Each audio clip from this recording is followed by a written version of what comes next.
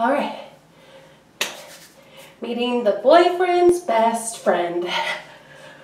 You got this. You're cool, focused, you're confident. You got this. He's gonna love you. You love sports and football, guy stuff, beer, stereotypical guy stuff. Oh man, I'm sweaty. I'm Sweaty Betty. what do I do with my hands? Ah.